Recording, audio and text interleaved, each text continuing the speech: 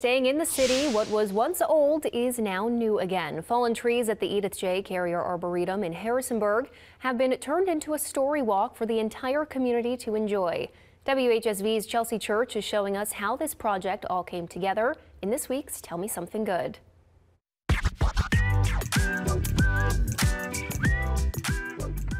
Harrisonburg's Urban Wood Program is all about finding new ways to use wood from trees that have reached the end of their life, whether it's wood chips, tables, or benches.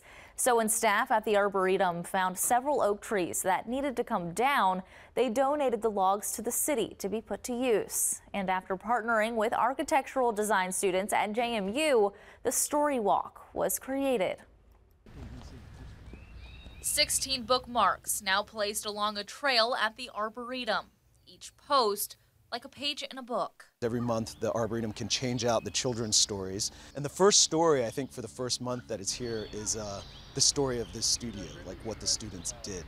Throughout the last semester, architectural design students at JMU worked together to figure out how to make this project work using trees that had to come down. Uh, they were at the end of their life, and for safety reasons, um, JMU facility staff removed the oak trees out of the arboretum. With this material of having a set amount of wood cut to certain dimensions, the students had a constraint. And what that constraint allows them to do is get creative. But they didn't have to figure it out all on their own. Students worked with the city and the Arboretum to get it right. This huge part of being about a designer is listening.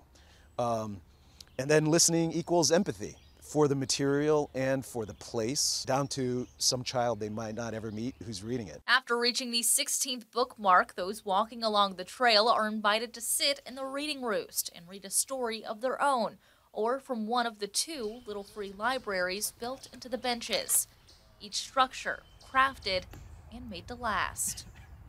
And we studied Japanese joinery and the art of burning the wood, uh, which is called shou sugi ban thousands of years in Japan they've been doing this, which allows the wood to become water resistant, pest resistant, and rot resistant. And now the wood that once stood tall overlooking the Arboretum is back home, but serving a new purpose. And this project is just very special because it's just a, a full circle type of project. We call it, you know, tree to table.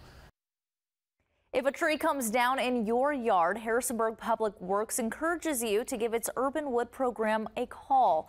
They can help you find new ways to repurpose that material either for yourself or you never know, it could be part of the next community-based project. With this Tell Me Something Good, I'm Chelsea Church.